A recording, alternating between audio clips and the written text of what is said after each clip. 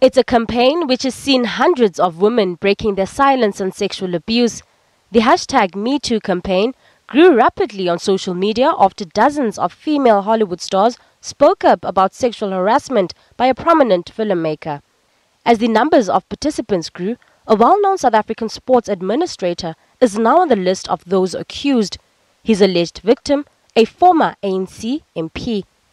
I feel free, you know, because hiding something because you feel ashamed, it causes dis-ease. It causes sickness. It affects your personal relationships. It affects how you how you relate to sex.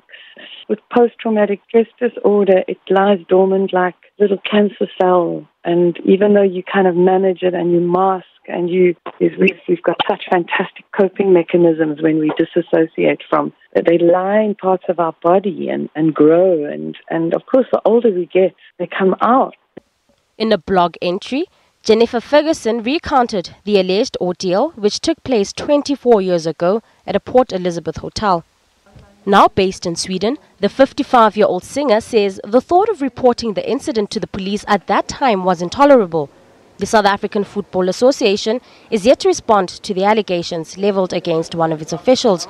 No charges have been laid yet. Lapang Alamu, SABC News in Johannesburg.